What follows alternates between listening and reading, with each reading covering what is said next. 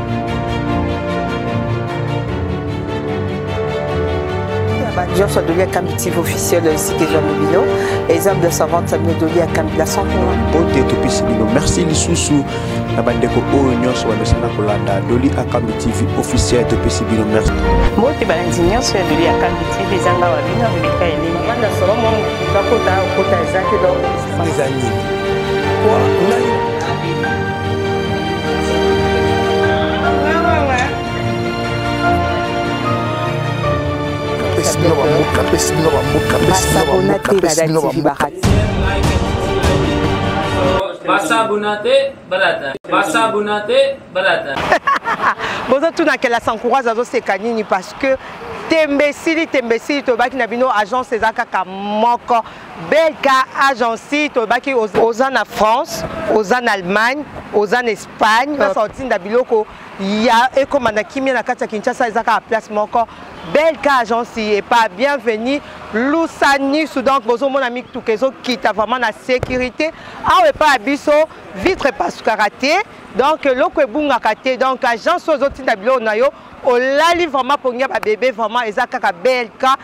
agency eza na direction gambela shaba Avenue na biso ya Lisala numéro 46 olingo tinda biloko na yo mutuka na yo carton na yo nyonso oza na mposa kotinda belka agency olingi biloko na yo ekóma na sécurité na kati ya kinshasa bomoni vraiment ndenge mituka ezokita na sécurité bacarton na bino vraiment ezokóma na kimia donc tobaka awa donc livraison à domicile olingi otinda biloko na yo na kati ya kinshasa ekóma na kimia ebeba te epasuka te donc toza agence na biso kaka moko oyo eza number one oyo esalava mosala nango vraimen kitoko belka agence ya papa na biso bienvenu lusanisu ye oyo vraimen bakongo eza na mposa bato ya boye donc bokoto bokoto bokoto bokoto baoyo baza na mposa kotinda mituka marke nyonso ezoya awa nyonso koli nyonso bienvenu lusanisu na belka agence bazomema yango ti na kinshasa jeune oyo mboka kongo eza na mposa na bango ezosala ke mboka ekende liboso vraiment bienvenu lusanisu mpo na agence na biso belka agence tozolala vraiment pongi ya babebe biloko ya bandeko na biso nyonso ezokoma na kimia mbote baye nyonso ya doli ya kambi televizio ezali ngai babino rebeka elenge ngai oyo namibengaka mingimingi mwana mosala na bino lolenge kani toyebaka kosalela bino mosala pour que boyeba komona baoffre na bino ya sursur mpe ya kitoko kitoko na ntina na yango na mokolo ya lelo ezwamaki biso wana commune ya nsele précisement na kinkole donc euh, nde bozomona bisika mizwami nga awa naza a 2 minutes na makadama ya kinkole ya biso ya doli ya kambi télévision na ntina na yango na bisika oyo nayenga moko te naye na moko ya biso ya bolingo oyo tobengaka le courageux l'homme le plus mobile wana ekopusa na ye penepene na biso bokoyeba mpe nini oyo ye ayebi kozwama koyeba kolakisa biso na mokolo ya lelo bonjour papa le courageux bonjour maman journaliste papa le courageux baya yo bazotala yo na mokolo ya lelo omemeli bango nini mpo bayeba kosepela bambote mingi baoyo balinga kolanda da tv hmm. nayambi bino toujours bopanza ndenge bavideo etambola ndenge tu mosala esalamaka da tv tosalela bino ada jongoyela mokonzi ya njilve na ngai Pambote mingi na musika oza na Paris. OK, le courage. Nga Jimmy Mainz. Et le kono mso yeli biso le za combien de mètres et puis bandeli. Pambote ota les awa. Eza 11 mètres sur 20. 11 mètres sur 20 et bandeli wapi. Je n'aime mais tu bendela bango vraiment ba yoka soit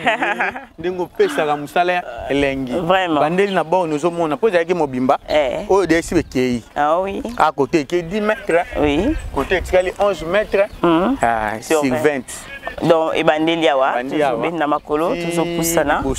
ya biso edodi ya kamiomela donc bozolandela baimage elongo na zone armeti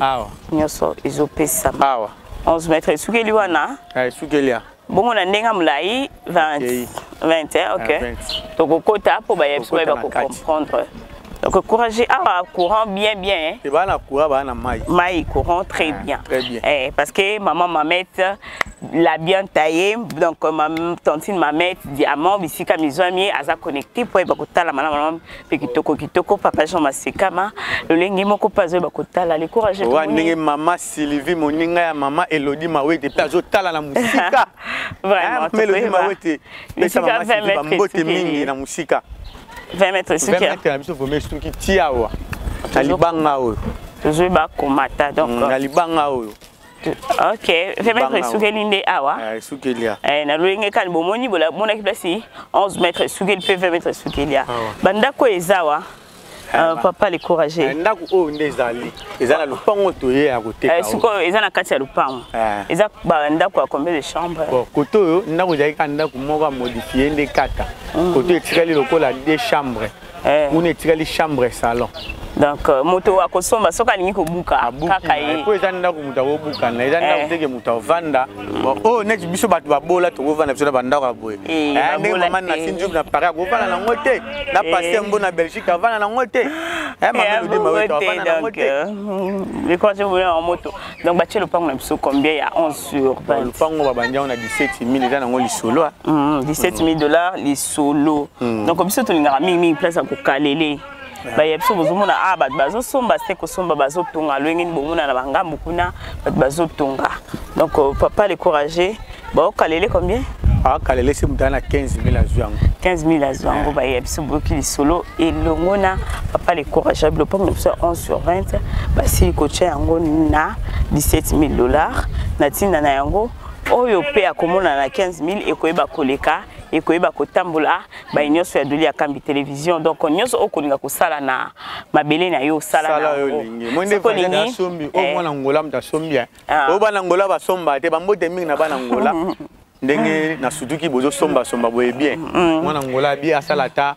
oyo akosala seseki atya balocataire mm, mm. ok boyoki motuya nini bapesi lopango na biso ya 11 sur 20 17 000 okakoli na lolenge kani soki mpe ozwi Uh, 15 000 c'est possible mais ana dative tolobaka bobanga prix te bobanga prix te bobanga prix te bopusana nde toloba bopusana parce que esika oyo oh, de ministre na macadame na yebisa bino régie des eaux eza quelque part awa yango wana nsima euh, régie des eaux ingénieur meti mosala malamu mpe nsima ndako bakaro ezomonana na nsima ndako ya karo ezomonana ah. régie des eaux eza wana baye nyonso parce que ya compliqué compliqué na esika oyo eza te osombi otongi eloko na yo na lolenge okoyeba kolinga ndenge okoyeba kosalela balandi ya doli ya kami television tolobaka ete l'essentiel ezalaka nano kozala na mabele forme nyonso okolingaka kopesa yango okoyeba kopesa yango parce que esika oyo motuka ekotaka nzela ezali facile baye nyonso bayebi kinkole ezalaka esika moko vraiment mouvement ezalaka nango trop euh, barapport ya mabe ezalaka azalaka te donc euh, wana mboka mobutu atika yango oyo eh, alinga yango mingi kinkole yango oyo yapi lelo sio ndenge ye moko mm. balobi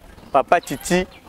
Mm. mpe alingi yango so mingi ok baya eh. biso ya doli ya kambi televizio wana eyaki biso kosalela bino mosala na esika ya malamu mpe kitoko bomoni aveni aveni eza monene eh. le courage tia mwa maloba enfant ko toyeba kokabwana parceke bililiezopesama kitoko bobosana te kaka le 5 décembre le 5 novembre le 5 novembre ah, oui. le 5 novembre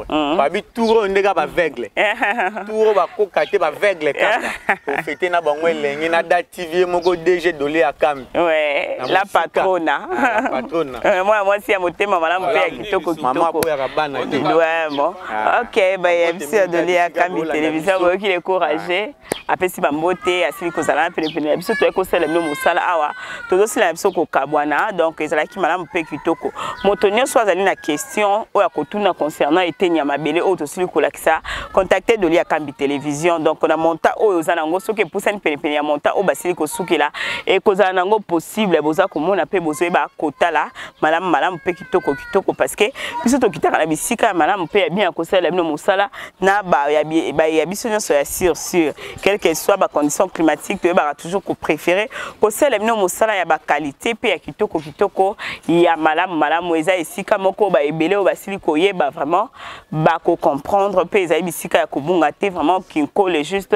à 2 minutes na makadame baya biso ya doli ya kambi tolekisi mokolo kitoko elongo na bino topesi bino nyonso mbote totumbi bino mokolo malamu balobi papa jean masekama makanda moko wa biso ya motema mpe ya kitoko kitoko ya gijoteka diomo na bisika mizwami yo le bos christian maf elongo na agence na ye comptoir Mabena na lolenge kani bazosala mosala kitoko totombe bino mokolo malamu papa koi kuna na Turquie mpe na agence bana kin cargo lolenge moko mosala mpe ezosalema totombe bino mokolo malamu na ntina na yango biso na bino tokabwani merci beaucoup